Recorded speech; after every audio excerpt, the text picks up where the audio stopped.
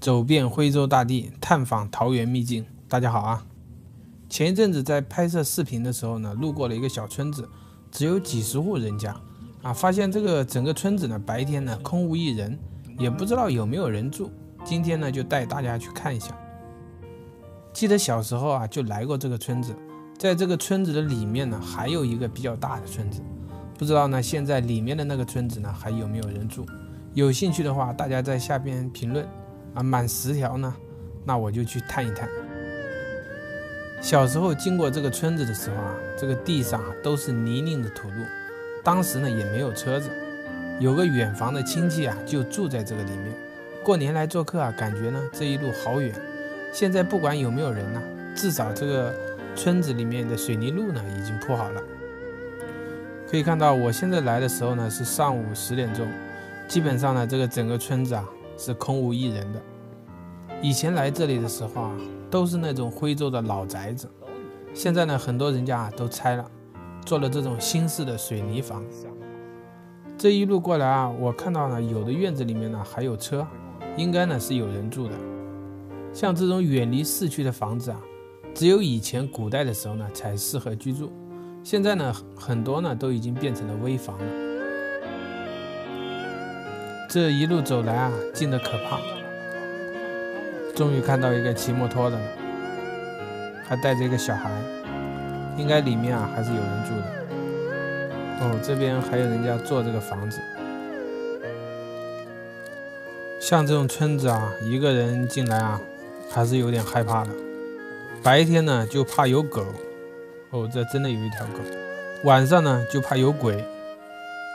你看这种房子啊，应该它是一栋老宅，整个的这个墙体呢都是用青砖砌成的，里面呢还有一棵枇杷树，远处呢有个大爷呢还在劳作。放眼望去啊，整个村子啊异常的安静。这个村子啊蛮有特点的，左边呢是一条清溪，这清溪里面呢有巨大的这个石头。以前来这里的时候，可以发现这个石头啊，有的比这个房子还要大。这是一幅现代的仿制的窗花，以前呢都是用这个青石雕刻的，现在呢干脆就是水泥的了。夏天啊来这个河里面洗澡啊，特别的舒服。这栋老宅，你看它的院子里面杂草丛生，还有一棵巨大的这个不知道什么树。前面有一座千年历史的唐代单口斜跨的石拱桥，非常难得一见。这也是我这次来拍的主要原因，就在前面，就是这个石拱桥了。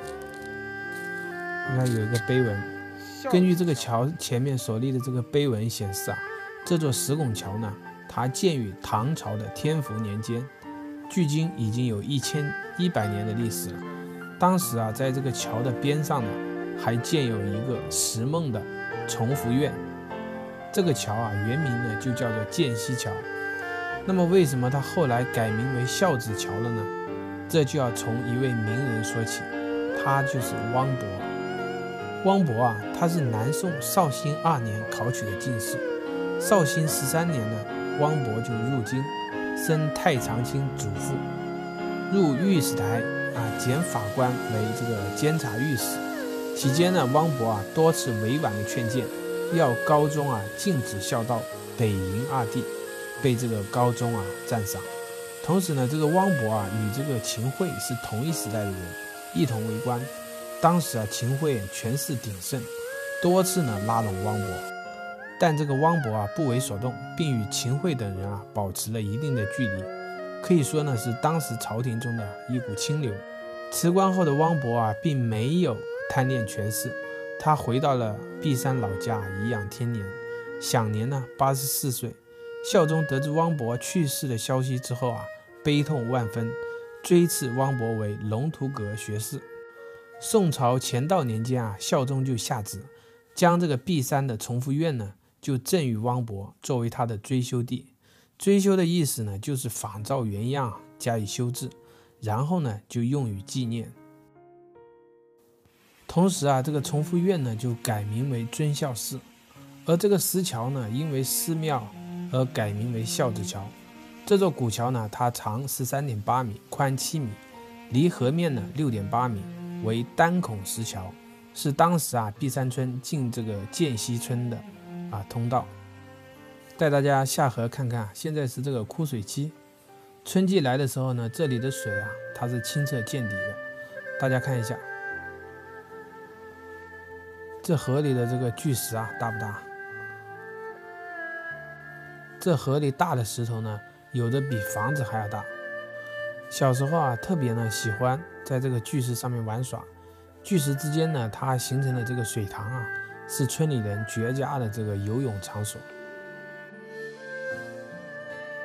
现在这河里的石头很多呢，都被人家运走了，用来啊把它给敲碎，然后做房子。